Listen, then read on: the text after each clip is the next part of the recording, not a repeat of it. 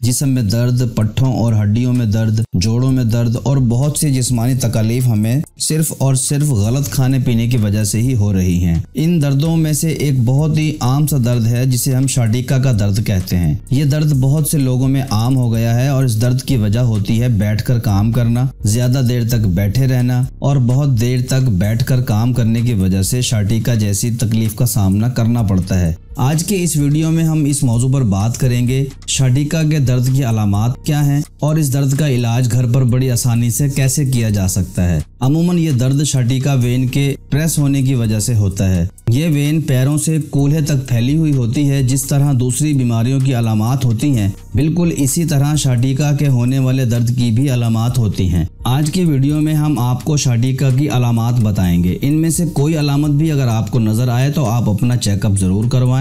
और इसका वक्त पर इलाज ज़रूर करें। तो चलिए जान लेते हैं वो अलामत। सबसे पहली अलामत कमर के निचले हिस्से में दर्द का होना। कमर के निचले हिस्से में दर्द होना ये बहुत ही कॉमन अलामत है शाटिका के दर्द की। लेकिन अमूमन लोग इसको सिर्फ़ कमर दर्द ही समझकर इग्नोर कर देते हैं। अगर आपको कमर के निचले हिस्से में बार बार दर्द होता है तो समझ लीजिए कि आपको शाटिका का दर्द होने वाला है। इस अलामत के नज़र आते ही आप अपना चेकअप ज़रूर करवाएँ। पैरों के दर्द का बढ़ना। अगर आपके पैरों में उठते, बैठते दर्द बढ़ता है या कम हो जाता है तो ये भी शाटिका की एक अलामत हो सकती है। आपको इस अलामत पर ध्यान ज़रूर देना चाहिए। कूल्हे की हड्डी में दर्द होना या कूल्हों में दर्द होना। पैरों में जलन होना, ऐठन होना भी शाटिका की अलामत है। पैरों का सुन हो जाना, अगर किसी इंसान का पाँव बार बार सुन हो जाता हो तो ये भी शाटिका की एक अलामत हो सकती है। चलने में तकलीफ़ का होना, दर्द का होना कोले से लेकर एड़ी तक दर्द की लहर का उठना, ये सब अलामत शाटिका की अलामत हो सकती हैं। इनमें से किसी भी अलामत को नज़रअंदाज नहीं करना चाहिए।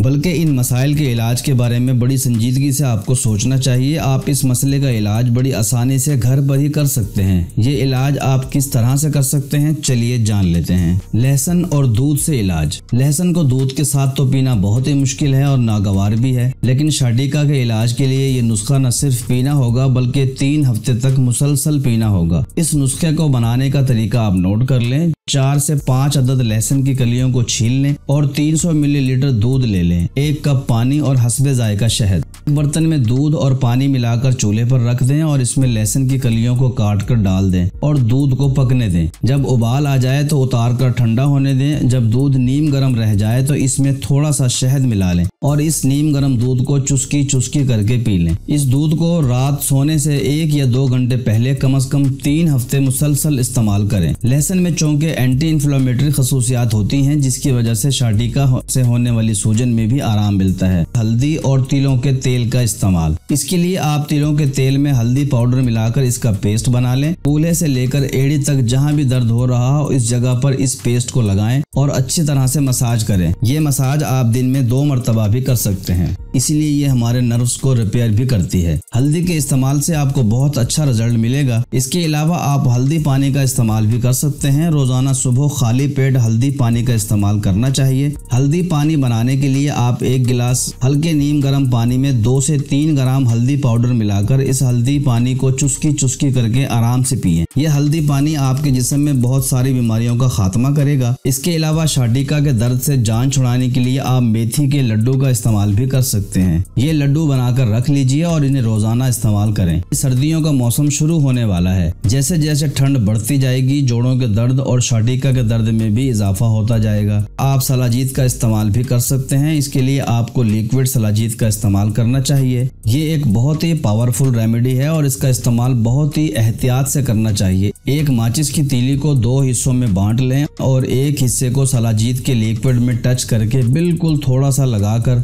नीम गर्म दूध में शामिल कर लें और फिर इस दूध को चुस्की चुस्की करके पी लें। सलाजीत वाले दूध का इस्तेमाल आपको कम अज कम दो हफ़्ते ज़रूर करना चाहिए। ये बहुत ही फ़ायदेमंद नुस्खा है। ये दर्द खुद ब खुद ठीक भी हो सकता है। शाटिका के दर्द के दौरान कुछ परहेज आपको ज़रूर करने चाहिए। सबसे पहले ठंडी चीज़ें, मसलन आइसक्रीम, सोडा, दूध सोडा, कोल्ड ड्रिंक वगैरह इस्तेमाल बिल्कुल ना करें। तेज मिर्च मसाले वाली और तली हुई चीज़ों से मुकम्मल इज्तनाब करें और हल्की फुल्की वाक हर सूरत में किया करें, ताकि आपकी टांग में खून का बहाव ठीक से हो सके। अगर मुमकिन हो सके तो जिस टांग में दर्द हो, वहाँ सरसों के तेल का मसाज ज़रूर करना चाहिए, ताकि आपके टांगों की वेन्स अच्छे से खुल सकें और अगर आप एक तेल घर पर बना लें तो इससे बहुत ज़्यादा फ़ायदा होगा। 400 ग्राम लहसुन की छिली हुई कलियाँ ले लें और एक लीटर खालिश जैतून का तेल भी ले लें। सबसे पहले लहसुन की कलियों को बारीक बारीक काट लें और एक शीशे के जार में ये लहसुन की कलियाँ डालकर इन पर एक लीटर जैतून का तेल डालकर ढक्कन अच्छी तरह से बंद करके 15 दिन के लिए ठंडी और सायादार जगह पर रख दें। कोशिश करें कि जार पर सूरज की रोशनी ना पड़े। रोज़ाना इस जार को अच्छी तरह से हिलाकर फिर रख दिया करें ताकि लहसुन और तेल का मिक्सचर आसानी से बन सके।